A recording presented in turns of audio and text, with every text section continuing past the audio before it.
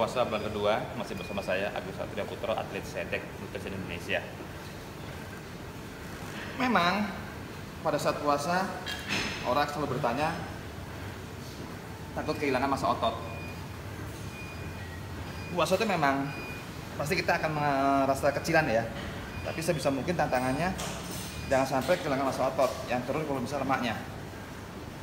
Tuh. Bener nggak kok? Benar sekali. Bener sekali ya.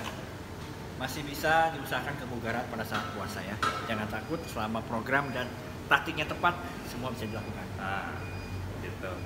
Jadi eh, ini saya puasa kedua, saya menjalankan ibadah puasa dan saya latihannya pagi. Emang sih tantangannya nahan lapar tuh bisa, tapi nahan haus tuh susah.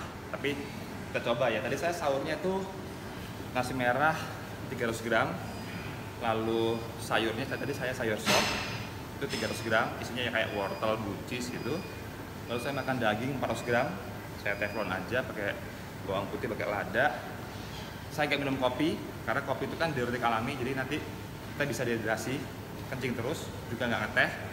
Minum B dari Cetic Nutrition sama banyak air putih. Tadi saya putihnya kira-kira satu liter deh. Saya bangun jam 3 jadi sahurnya pelan-pelan. Minum minum minum minum minum terakhir tuh sampai uh, imsa udah terus saya latihan sama Michael Ayo makan aja, Cok. ngawur setan aja jadi bulan puasa tuh setan Ayo tuh yang makan. ter- terbelenggu tapi manusia yang menjadi setan itu yang berat ya teman-teman Eh, diocokin makan gak Ya. mau. untuk latihan ya kalau misalnya teman-teman yang puasa mau latihan pagi lebih baik di ruangan yang ber AC karena untuk apa ya, biar supaya nggak terlalu panas jadi nggak terlalu haus dan juga istirahatnya lebih lebih banyak setiap setnya Orang Gitu. kabeh tempat Jimono AC ini. Iya, maksudnya dalam arti diusahakan. Ya misalnya nggak pakai AC ya nggak apa-apa. Latihan jangan berat-berat, secukupnya aja, sesuai dengan kondisi puasa, maksimal dengan kondisi puasa gitu sih maksudnya. Ayo, Mek. Nah, ini yang tadi saya bilang manusia menjadi setan, orang puasa ngajak makan.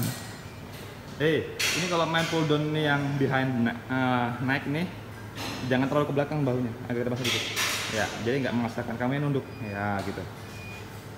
Jadi baunya jangan dipaksa ke belakang ya, nanti bisa cedera. Kalau dia enak nih, nggak puasanya. Eh, aku puasa. Wah. Tuh, lihat tuh. Tuh, lihat.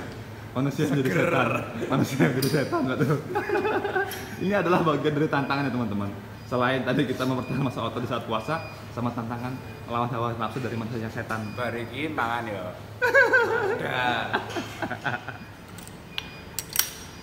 Lalu solusi yang kedua, setelah latihan, misalnya kalian haus banget atau capek banget, eh, sering mandi aja pakai air dingin.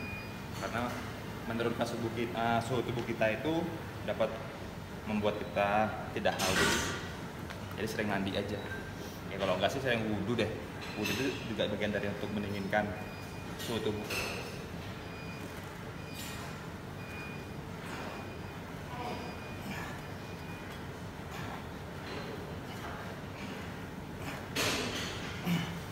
Terus kalian mungkin ada yang bertanya, nanti saya buka pakai apa gitu kan?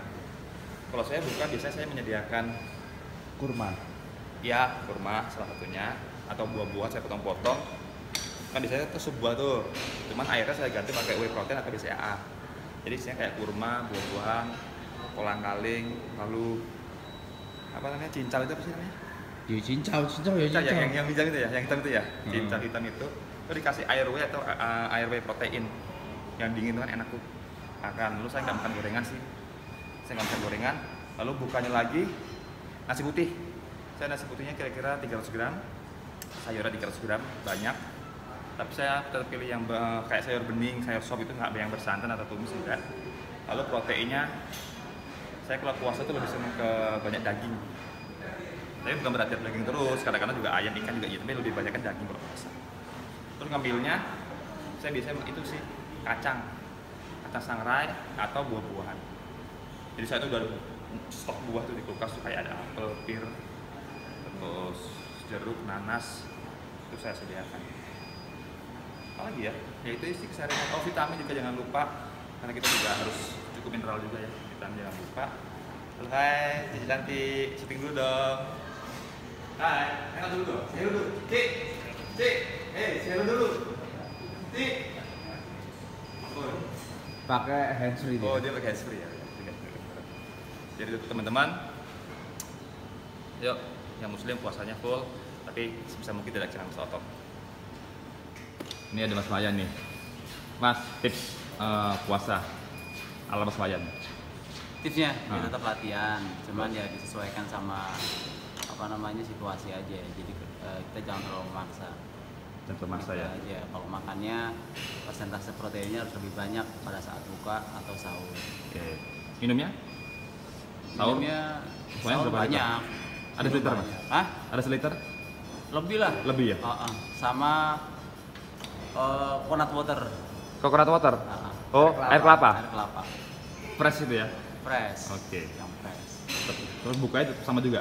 bukanya sama Oke, berarti tetap menjaga badan ya? Hmm. Selama puasa. Powernya gimana mas? lemes Awalnya lemes ya? Eh, Jadi.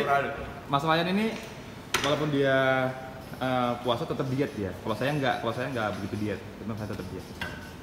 Iya cuman ya itu tadi kita nggak bisa makan banyak kan apa- namanya karena kalau puasa biasanya pas buka itu kan lambung kita mengecil tuh. Ah. Nah itu. Mas- kalau kalau mau belajar vakum tuh pas pada saat puasa. Puasa gini? Banget ya. Mas, ini kan adalah ketakutan nih ya. Bentar takutnya mas ototnya menurun. Mas Wayan selama puasa itu mas ototnya menurun nggak? Nggak nggak menurun sih. Cuman Visualnya aja. memang visualnya kurang galak gitu. Tapi Oke. nanti dua atau tiga minggu setelah Lebaran itu udah bisa balik lagi. iya. Oh gitu. ya. Tapi berarti tetap puasa itu pasti ada penurunan lah ya. Pasti, Pasti penurunan iya, ya. pasti. Siap, siap, siap. Thank you Sayan. Ini apa ya? Diangkat ayo yang tadi. Kalau ini nggak puasa kok tetap lagi mas. Ya, aku?